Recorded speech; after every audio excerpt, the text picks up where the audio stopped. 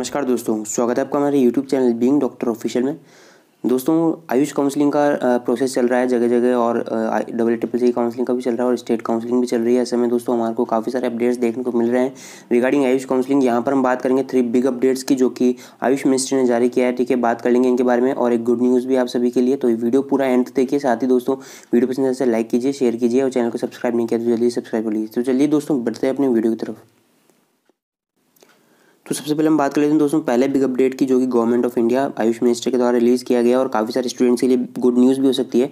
तो ये नोटिस आप दे सकते हैं, सभी स्टेट अथॉरिटीज़ को जो है, जो काउंसलिंग अथॉरिटीज़ है, सभी स्टेट्स की, उनको जो है ये डायरेक्ट कर रहे हैं और यहाँ पर लिखा गया है सब्जेक्ट में कि admission in undergraduate courses in AYUSH मतलब A S U and H यानी AYUSH Siddha Unani and homoeopathy college for academic session 2021 इसके रिगार्डिंग है ये। और यहाँ पर जो है इन्होंने लिखा है कि हमें जो है काफ़ी सारे स्टूडेंट्स की रिक्वेस्ट आई थी रिलैक्सेशन के लिए ताकि वो रिड्यूस कर सकें required percentile for NEET in NEET है ना? नीट ट्वेंटी ट्वेंटी में जो रिक्वायर्ड परसेंटाइल है, क्योंकि आप सभी जानते हैं, पहले जो हुआ करता था मतलब क्वालिफाई करना ज़रूरी होता था अपने अपने कैटेगरीज के अकॉर्डिंग कि भाई आपको इतने क्वालिफाइंग मार्क्स आने चाहिए, तभी आप एलिजिबल हो काउंसलिंग के लिए। तो इनके पास काफ़ी सारी रिक्वेस्ट आई थी रिलैक्सेशन के लिए कि भाई हमें परसेंटाइल में रिड्यूस कर दो ताकि हम एलिजिबल हो सकें। तो ऐसे में इन्होंने दोस्तों आप सभी को रिलैक्सेशन दिया बिग रिलैक्सेशन दिया है सभी स्टूडेंट्स को, सभी कैटेगरीज के स्टूडेंट्स को, ठीक है ना? तो यहाँ पर जो है, अब जो है नई परसेंटाइल जो एलिजिबिलिटी के लिए जो है, नई परसेंटाइल इन्होंने बताई है। वो आपको बता देता हूँ, यहाँ पर फोर्टी परसेंटाइल जो है रिक्वायर्ड है फॉर जनरल कैटेगरी ठीक है ना? Obtain minimum marks at forty percentile यानी फिफ्टी परसेंटाइल होती थी जनरल कैटेगरी का फोर्टी परसेंटाइल कर दी गई है। साथ ही दोस्तों, यहाँ पर S C S T and OBC candidates के लिए भी रिलैक्सेशन है। यहाँ पर थर्टी एट परसेंटाइल वाले भी अब एलिजिबल हैं काउंसलिंग करा सकते हैं। यहाँ पर पहले जो है जो है नीट जो क्वालिफाइंग कट ऑफ़ थी, उसके अकॉर्डिंग काउंसलिंग करा सकते थे। लेकिन अब जो है, इन्होंने परसेंटाइल में रिड्यूस कर दिया। जिनके, जिन भी स्टूडेंट्स की अब जनरल कैटेगरी में फोर्टी एट परसेंट आए वो भी एलिजिबल हैं, वो भी काउंसलिंग में पार्ट पार्ट ले सकते हैं, ठीक है? और जो है state authorities and double A triple C सभी की काउंसलिंग में अब ये पार्टिसिपेट कर सकते हैं। ये केवल डबल ए ट्रिपल सी के ही नहीं है, सभी स्टेट्स में जो स्टेट कोटा काउंसलिंग हो रही है, उसके लिए भी ये नोटिस है। और O B C OBC and S T के लिए थर्टी एट परसेंटाइल रिक्वायर्ड है। और साथ ही दोस्तों, जो बी एच कैंडिडेट्स होते हैं जनरल कैटेगरी बी उनके लिए थर्टी फिफ्थ जो है परसेंटाइल रिक्वायर्ड है। और थर्टी एट परसेंटाइल चाहिए for S C S T and O B C तो ये बिग रिलेक्सेशन आपको परसेंटाइल्स में दिया गया है। आप अपने अकॉर्डिंग चेक कर लीजिए, अगर आप थर्टी एट परसेंटाइल या इससे अबव हैं तो आप जो एलिजिबल हैं। आप काउंसलिंग के लिए, आप काउंसलिंग में पार्ट ले सकते हैं।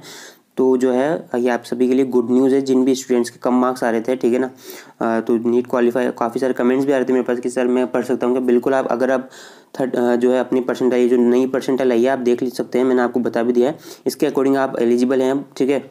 यानी कुछ रिलैक्सेशन आपको दे दिया गया है। तो ये जो है, ये एक बिग अपडेट है और गुड न्यूज़ है काफ़ी सारे स्टूडेंट्स के लिए, ठीक है? और ये जो है, ये नोटिस जो है दोस्तों, ये जो अपडेट है, ये सभी स्टेट अथॉरिटीज़ की जो काउंसलिंग हो रही है स्टेट कोटा काउंसलिंग उसमें भी मान्य की जाएगी और साथ ही डब्ल्यू ट्रिपल सी काउंसलिंग में भी। तो ऐसे जो है, आपको कोई कन्फ्यूज़न ना रहे। सभी के लिए जो है, अब ये जो है ऑर्डर दे दिया गया है आयुष मिनिस्ट्री ने। ये केवल इसी अकेडमिक सेशन के लिए दोस्तों, है ना? यह ध्यान रहे it is applicable for academic session twenty twenty one इस वाले जो अकेडमिक सेशन जो इस ईयर जो एडमिशन हो रहा है, उसी के लिए ये अगले ईयर की ये नहीं मानी जाए, ठीक है?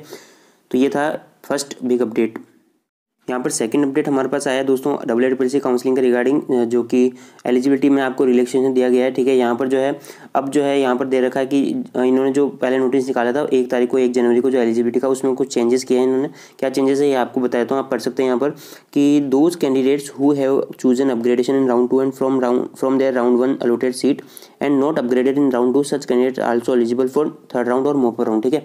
तो यहाँ पर ये बताया गया है कि दोस्तों, जिन स्टूडेंट्स ने राउंड वन में सीट अलॉट हो गई थी, लेकिन राउंड टू में अपग्रेडेशन के लिए चूज़ किया था, ठीक है ना? लेकिन राउंड टू में जो उनको कोई अपग्रेड नहीं हुआ, यानी सीट नहीं मिली तो ऐसे में दोस्तों, वो कैंडिडेट्स एलिजिबल हैं थर्ड राउंड में या मोपर राउंड में पार्टिसिपेट करने के, ठीक है? तो ये अपडेट है दोस्तों, काफ़ी सारे स्टूडेंट्स के लिए भी ये big update big good news हो सकती है, ठीक है?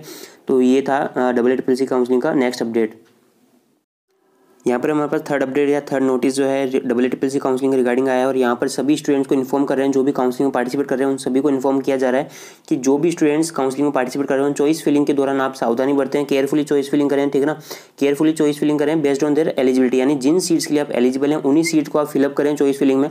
जिन सीट्स के लिए आप इन एलिजिबल हैं, यानी एलिजिबल नहीं है, उन सीट्स को भूल भी वो जो है, आप फिलअप ना करें, क्योंकि ऐसे में क्या होगा, आपको सीट मिल जाएगी अगर, ठीक है ना? और आप जब रिपोर्ट करने जाएँगे तो पर, वहाँ पर आपकी जो वो सीट है रिपोर्टिंग के दौरान कैंसिल कर दी जाएगी, ठीक है ना? क्योंकि आप इन एलिजिबल हैं उन सीट्स के लिए, ठीक है? तो ये आप ध्यान रखें और केयरफुली चॉइस फिलिंग करें, ठीक है? मैं आपको बार बार कहता रहता हूँ क्योंकि इन्होंने कह रखा है who are not eligible for D U internal यानी कुछ कैंडिडेट्स ऐसे थे जिन्होंने डी यू इंटरनल कोटा की सीट्स भर दी थी, लेकिन वो एलिजिबल नहीं थे उन सीट्स के लिए, फिर भी उन्होंने भर दी थी और वहाँ पर जब वो रिपोर्ट करने गए तो उनकी जो सीट थी वो अलॉट हो गई थी तो रिपोर्ट करने गए तो उनकी जो है वो कैंसिल करनी पड़ी at the time of reporting तो इन सीट्स इन इस बात का ध्यान रखें एलिजिबल ठीक है अकॉर्डिंग चॉइस फिलिंग करें, मैं आपको बार बार कहता हूँ क्योंकि चॉइस फिलिंग जो होता है दोस्तों काउंसलिंग का बहुत इंपॉर्टेंट स्टेप होता है। यहाँ पर दोस्तों, अगर आप एलिजिबल हैं तो ही वो सीट भरें क्योंकि हो सकता है दोस्तों, आपके कारण जो है आपने तो सीट भर दी, आपको अलॉट होगी, लेकिन जो एलिजिबल कैंडिडेट था नेक्स्ट एलिजिबल कैंडिडेट था, उसको वो सीट नहीं मिल पाई, भले वो एलिजिबल था फिर भी, ठीक है ना? तो ऐसे में आपका नुकसान हुआ, ठीक है? साथ ही उसका भी नुकसान हो गया, ठीक है? तो ऐसा ना करें।